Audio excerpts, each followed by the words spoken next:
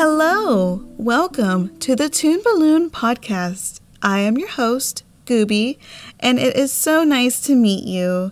Since this is the first episode of my podcast, I would like to introduce myself to you. Now, you may be wondering, why am I calling myself Gooby? Back in high school, I had a group of friends call me Gooby because of those really silly memes that were circulating back in 2015. Those memes back then were basically obscure Donald and Goofy comics, and they were called Dolan and Gooby instead. Back then, that was the humor, and honestly, even now, if I look back at it, I still find it a little funny. the name actually just brings back a lot of nostalgia, and I just thought it'd be a little funny. My real name, however, is Gabriella. I am 24 years old and I am a mom of two. And I like to proclaim myself as a somewhat uh, competent artist. I love to draw. I have been drawing for as long as I can remember.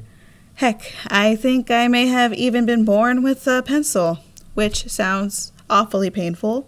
I recently have been trying to learn how to draw on a tablet, so my husband bought me a tablet for my 24th birthday, and I have been practicing. And honestly, it's a bit of a struggle, but I think I can do it with practice.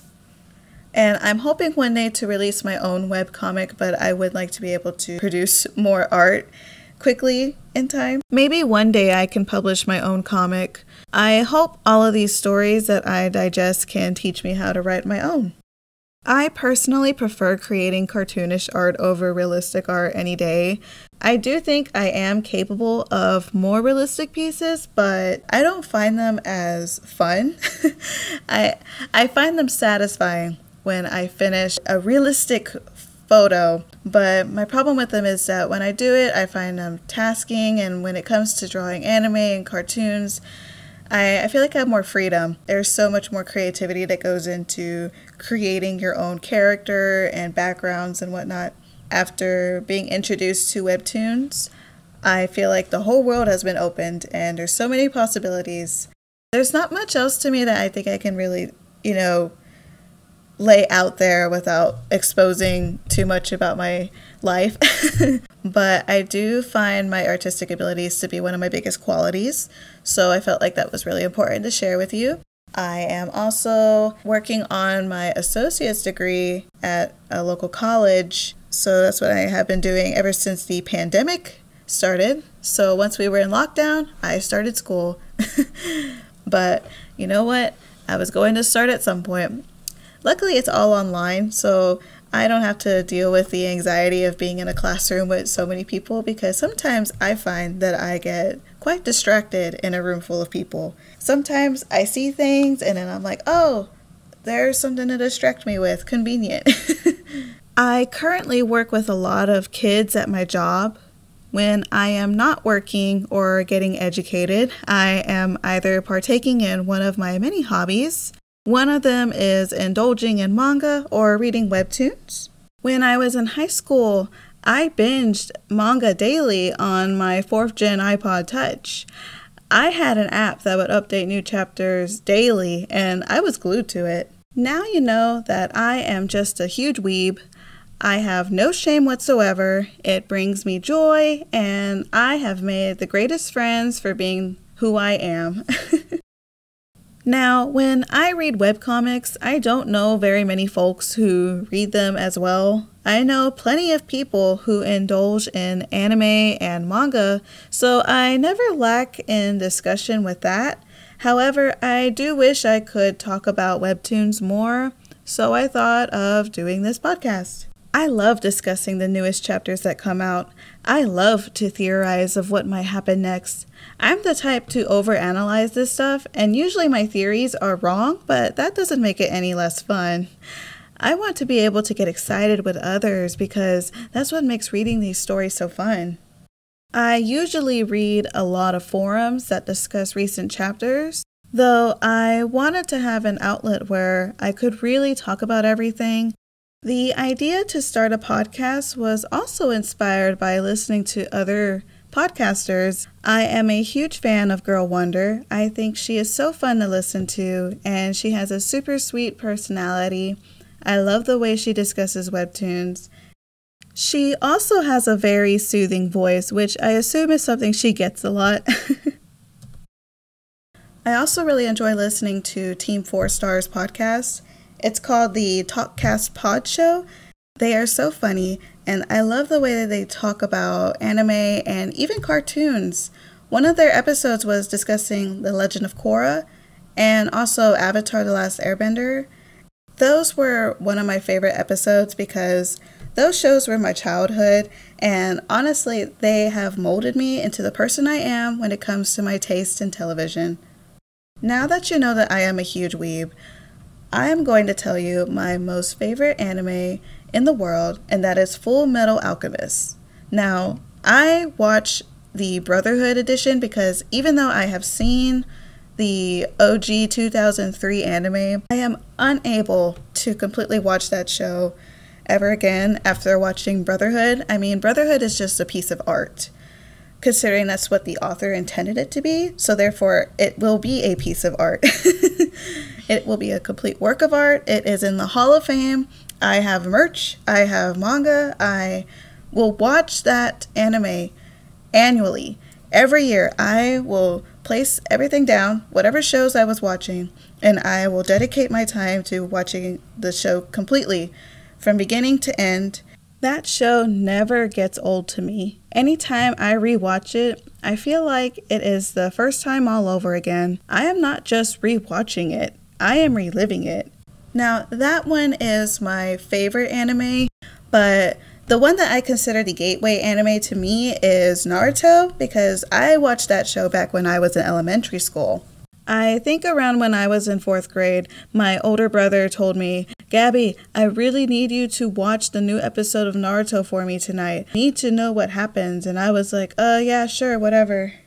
And so I did because I am a great sister, and I watched it that night and I found it so fascinating. This was an episode in the Zabuza arc where Naruto unleashes the nine tailed fox form against Haku. After that, I was absolutely hooked. All I ever wanted to do was just catch up on the show. I would have to time the day right just to watch the Naruto reruns so I can catch up because back then we still had cable and we still had Toonami and we still had Tom which I mean, I love Tom. He was the best part of the night, honestly, because he was always so fun to listen to. I don't know the voice actor for Tom, but I remember Tom's voice was the coolest thing to listen to back then when I was a kid. After that, um, once I finally got caught up with Naruto, I started watching a couple other animes such as One Piece, Bleach, Dragon Ball Z. I mean, you name it. There was so much back then. And I mean, it was a struggle to catch up to this stuff. We didn't have streaming like we do now. You had to time this stuff. And back then, you sometimes weren't always lucky to get a rerun on the next Saturday when they're going to release the newest episode. So sometimes there would be incidents where I wouldn't want to go to the movies with my family because I wanted to catch up on an episode of Naruto. And I remember it was a Teenage Mutant Ninja Turtle movie. It was an animated one. And I mean, I had younger siblings that were really into that movie. And I told my parents, I don't want to go because I need to watch this episode of Naruto. And it was the episode where Sasuke meets Itachi. And I mean, that was a lit episode. I was able to get a rerun, thank God, because I mean, I don't know what I would have done if I wasn't able to see it. I mean, this is when I was in fifth grade, probably, so anything was devastating at that time. So now that you know my anime history and my most favorite anime in the world, we are going to discuss my webtoon obsession now. Now, my favorite webtoon is Lore Olympus. The art style is beautiful, the colors are so vibrant, the story is amazing. I love the author's rendition of the kidnapping of Persephone. Um, I love Greek mythology, so this obviously clicked with me the moment I read it. Now that you know my favorite webtoon, I would like to tell you how I got introduced to webtoons in the first place. So, my friend came over pre lockdown and they pulled out their phone and asked me, Hey, do you read webtoons? And I told them that I didn't, but that I have seen those occasional ads on Instagram where the characters' heads are tilted every now and then because of the way they're animated. So, of course, they proceeded to show me some webtoons, and the first one was True Beauty. Now, when I saw the webtoon, my first thought was, oh my gosh, this looks so cool. And then I was thinking, and this is by freelance artists, and that it's free, which was insane to me because I have never heard of a website where you could just post your own webcomics to. They asked me to read one of the chapters out loud, and I gotta say, I was being, I don't know if it was just because I wasn't taking it seriously. When they showed me it, I was reading in the most ridiculous voice ever. And I mean, they got a kick out of it, but I remember I was just being extra silly that day because I was having fun. A little bit later, I was like, you know what? I think I do want to look up some webtoons. So I hit them up and I asked them, hey, can you tell me the name of that comic again? And so they do. And then after that, I started searching for some webtoons to read because I felt like reading just a one was obviously not enough. so I end up coming across a Canvas webtoon by Hazelnut called Just a Dream. And here is a summary for it. Mary Chris keeps seeing the same person in her dreams, but this person is a complete stranger to her. What will happen if she finally meets him in person? The story is so sweet, and the art is beautiful. Another webtoon I came across was called The Fate of a Rose. It is a canvas webtoon. It is written by Sushi Cat Go. Here is a summary. A young college girl tries to find a new identity through the STARS competition while simultaneously trying to hide her old one from the public eye. Will the thorns of her past catch up to her and reveal to her loved ones who she was? Or will she become everything she swore to never be again just to hide it from them? Now, these were the first webtoons that I read, so they hold a special place in my heart. And of course, I have a bunch of other webtoons that I binge. Now, I usually read every update I get with each of the webtoons that I am subscribed to. The last two that I had mentioned were Canvas webtoons, so they do have a bit of a different type of schedule than the originals do. So I still wanted to shout them out just because I do find that they are wonderful stories and I hope that they can get more recognition in the future. So I definitely recommend that you check them out because they are a great read and they do have quite a bit of chapters, uh, each of them. I will probably be reviewing and discussing these two webtoons whenever they do update. So, in any episode, they might be like a special case where I will have a Canvas webtoon thrown in just so we can give it some recognition and discuss because these are stories that deserve to be seen because they are just so wonderful. Now, I am going to list out a couple of webtoons that we will most likely will be discussing in future episodes. And these happen to be some of my favorites, so this is probably why we will be discussing them the most because I will have the most excitement out of them anyways. So here goes. Now, the first one will be Let's Play Unordinary, My Deepest Secret, Midnight Poppyland, Everything is Fine, Love Me Not, See You in My 19th Life, a Boy and His Ghost, and No Longer a Heroine. Now, these are just a couple of them.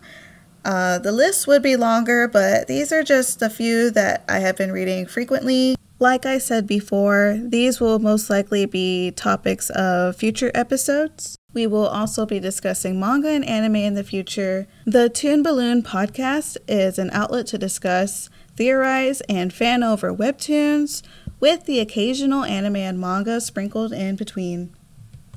Now, if you would like to get a hold of me to discuss any of these topics, feel free to message me through Twitter and Instagram. My Twitter handle is gr2 and cheddar, and my Instagram is insert underscore gooby underscore here. Again, feel free to direct message me on any of these social media handles. I would love to hear any suggestions for the podcast or to even hear other webtoons you would like to talk about. Let me know your favorite webtoons, anime, or even manga series. I would love to hear your thoughts and opinions.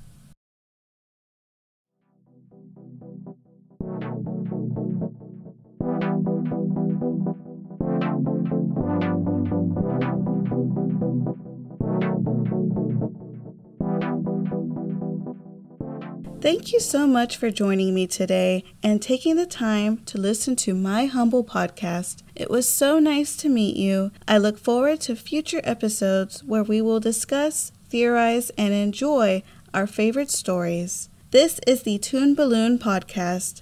I was your host, Gooby, and goodbye.